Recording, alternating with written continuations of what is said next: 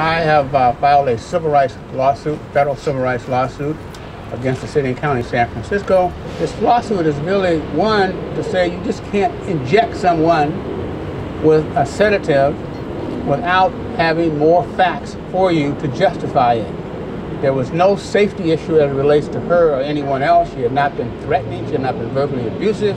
She was protesting about Roe versus Wade. The injection in someone's body without their permission is a seizure under the Fourth Amendment. And while I was on the ground, handcuffed in front of the emergency vehicle, one of the firefighters came with a needle towards me, and I couldn't believe what I was seeing.